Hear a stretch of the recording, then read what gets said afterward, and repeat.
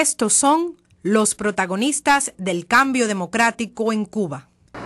Jóvenes cubanos que fueron expulsados de la universidad por sus ideas, hoy, a pesar de esta medida represiva, han encontrado nuevas formas de expresar y desarrollar sus pensamientos.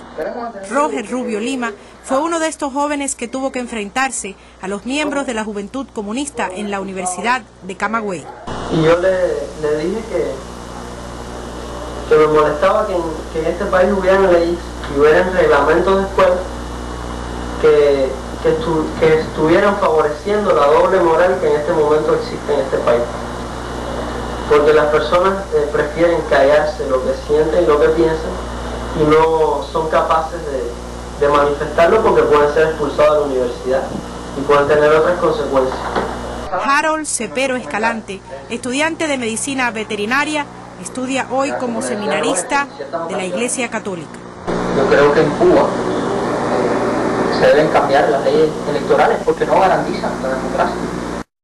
Yo creo que en Cuba eh, se deben hacer cambios en el orden económico para que las personas puedan realmente vivir dignamente. Otros jóvenes dentro de Cuba se han manifestado a favor de iniciativas de cambio en el país.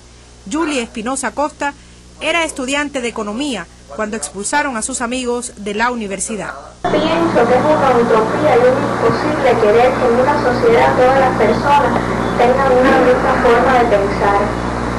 Eso hasta el que hasta el que lo dice debe saber que eso es una mentira, que todas las personas piensen igual.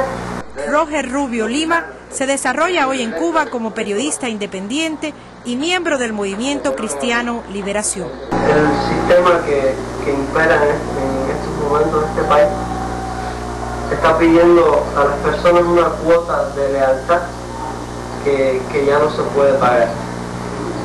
Hay, hay deseos en nosotros de, ser libres, hay deseos de, de pensar y poder decir lo que pensamos. Yanicet Rivero, Directorio Democrático Cubano.